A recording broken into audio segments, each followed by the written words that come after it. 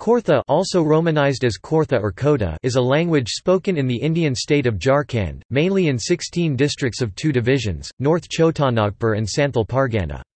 The 13 districts are Hazaribagh, Koderma, Giridih, Bokaro, Dhanbad, Chatra, Ramgarh, Deoghar, Dumka, Sahebganj, Pakur, Godda, and Jamtara.